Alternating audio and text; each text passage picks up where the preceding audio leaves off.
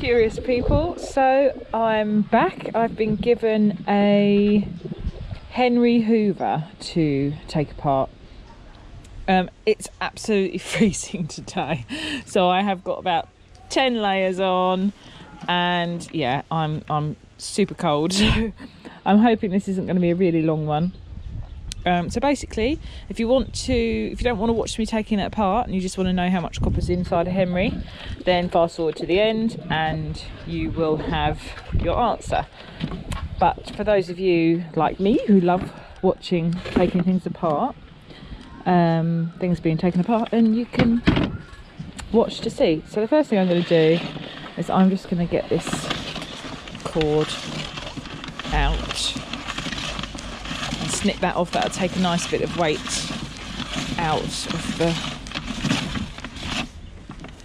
Okay, so I'll snip it here. I'll be able to get a bit more from the inner workings as well. So we've got that's the cord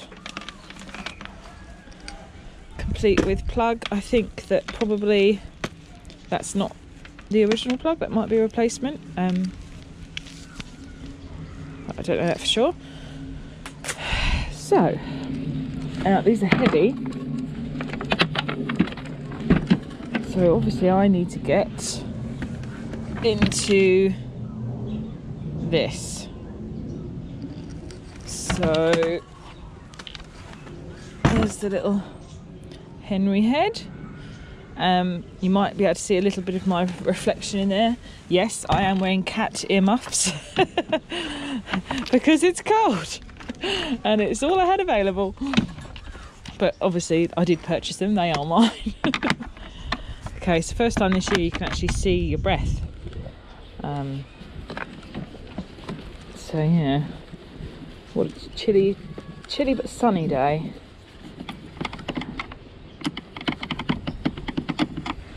So that's not a magnetic screwdriver. So uh, pulling it out for me. I've actually got a magnetic one in here. No, I'm just going to have to unscrew them and then tip it over to hope they all just fall out. It's quite a deep cavity. That's why I can't use my um, electronics set because it's just uh, it's deep and narrow so you can't get the extender down there even. Okay. Another one. This is a nice thing to be able to do on a Saturday you know I said the other day. I'm running out of things to take apart. Well I had run out of things to take apart until my friend gave me this so I'm very happy about that.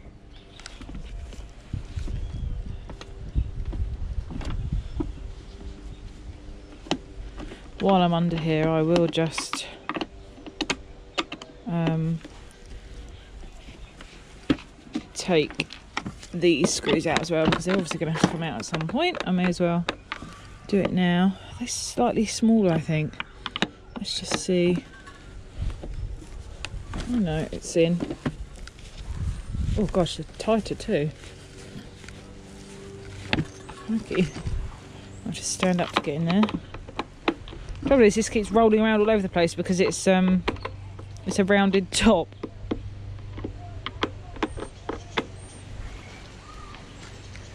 That's it. Hmm, I wonder if my other favourite one? There. I think this one might be better. Let's see. Gosh, they're so tightly wound in there, I can hardly twist them out. So yeah, it's a funny day. It's very, very cold, but the sun is shining at least. Gosh, know why they're done up so tight. Ooh, I can't actually undo those. Right, well, let's see where we got with undoing this bit. Okay. Yeah, that's not the bit I need. I do need to do those ones. So this, I think, is just... Yeah, nothing. The plastic. Bye-bye, Henry. So I do really... This is the business end. This is where I really do need to get into. Uh,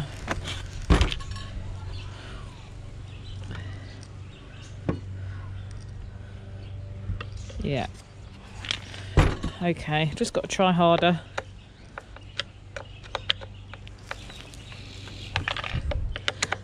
Should be careful what I wish for. It'll be a shorter video than I thought if I can't get these ones undone. Oh, I just can't get the... Uh... Oh, this one's coming.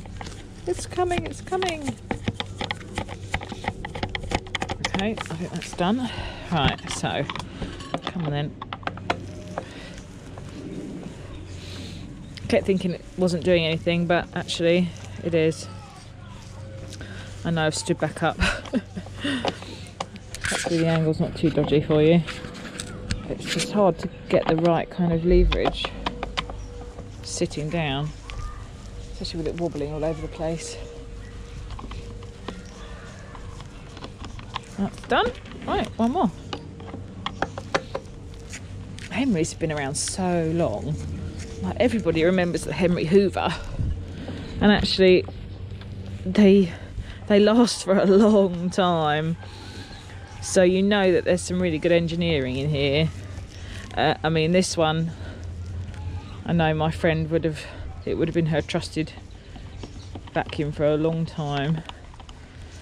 Um, and her dad tried to repair it, but it was beyond repair. So it's come my way. Right.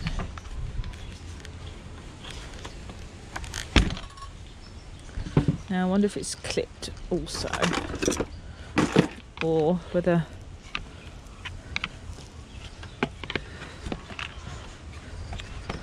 sealed. It's this, isn't it? It's this unit that needs to come up. That's it. It's coming. There we go. Yay! More horrible black plastic. Oh wow. I think one of the children must have lost a pen lid at some point. Okay, so what we've got going on here? More black plastic. Some rubber.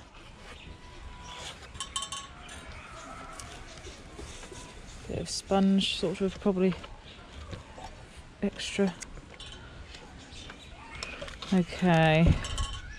So.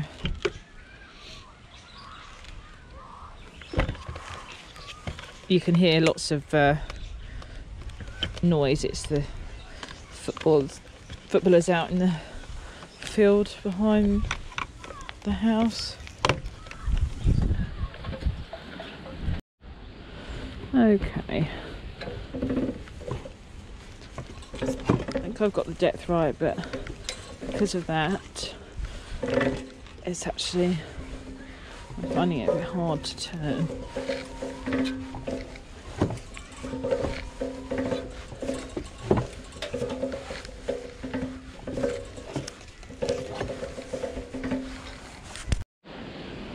Okay, I've run it through.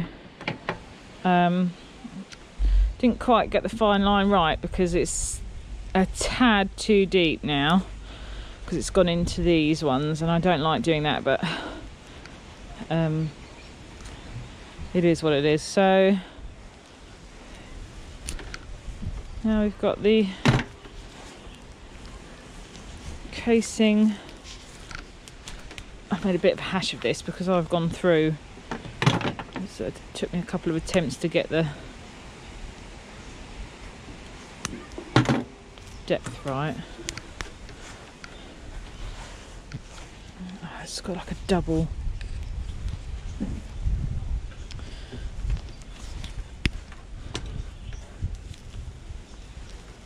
Double tear line.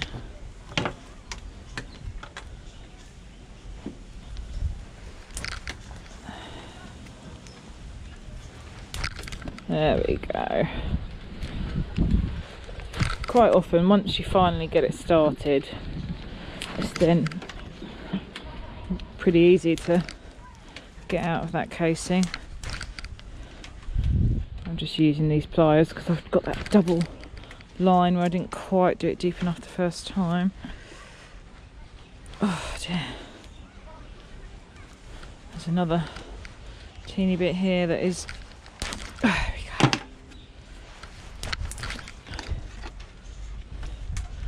like this here, totally split off into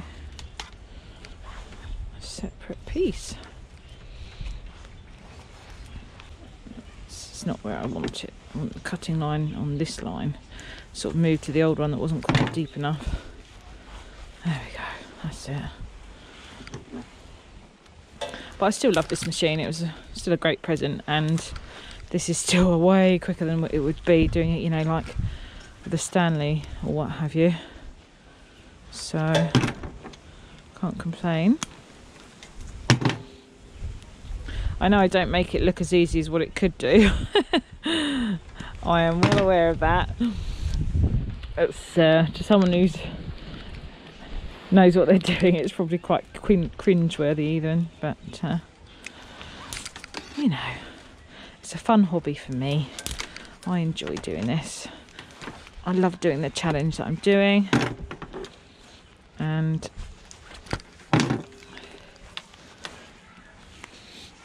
it's, uh, it's exciting for me to do so.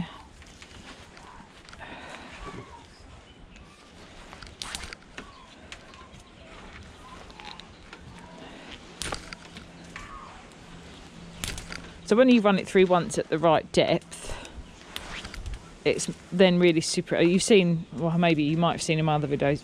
Videos, it's really easy to pull through because you're just going down one line. I'm having this trouble because I've kind of got half a line and another line, so it's not always going down the deep line. But getting there. We are certainly getting there. We've got um, some other wire to do today, but honestly, it's that cold out here. Although I have just learned that my workbench pieces did in fact arrive the other day. so um, it is actually there waiting to be put together. So hopefully I won't have too many more sessions like this out here now the weather's turned. Look, the end is so close. There we go.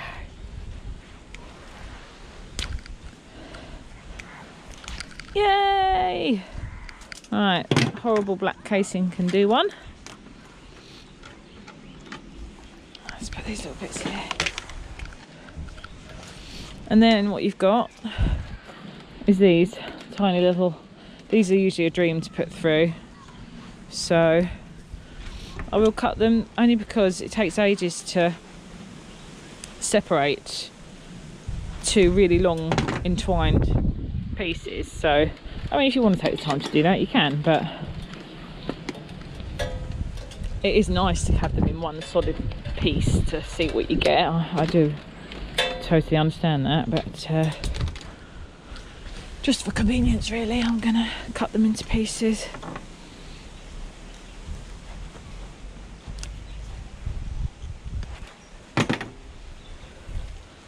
and do it that way.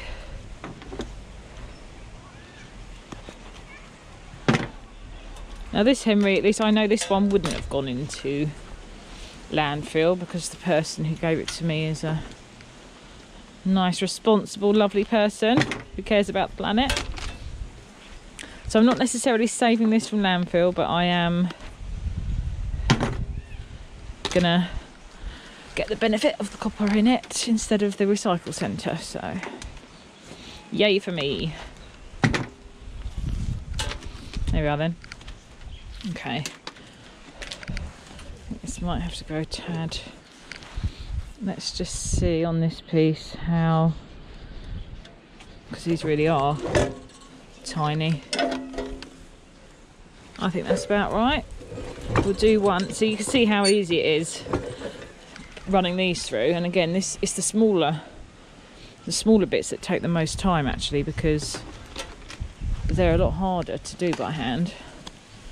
The big ones you can kind of create like a a split and then use its own strength against it to pull it down, but that's not really the case with these tiny ones. It takes forever to do that. And I think what I've got going on here is that was from the original where I cut too deep in the thing and hopefully now I can just get the copper out. Yeah, it's messy. It's messy because I cut it too deep, uh, which is why I do hate doing that because I don't like the sharp little spindly bits of copper. But once that's melting into an ingot, that doesn't matter, does it? It's just for my own uh, sake. Actually, I'm just going to go and get a new tub. Or should I? No, I'm going to get my other new tub. Okay. The copper I get today in this one. Tubs everywhere. Oh my. Right. Okay. Just run these through quickly and easily. Now, let me just double check this bit that the other one didn't come out so easy because it was cut deep from before. No, this is no. Okay, so what I'm going to do is I'm going to run them all through, and then I'm going to pull the copper out. It's just easier to just do it in some sort of order rather than the stop start stop start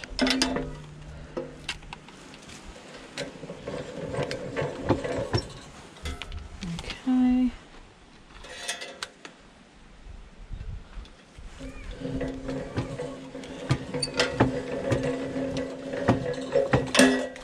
yes so I have to sort my shed out with some electricity so I can get some heating in there. Put the bench together that my rather generous dad has made, but it's um, it's in pieces. It now needs to be put together.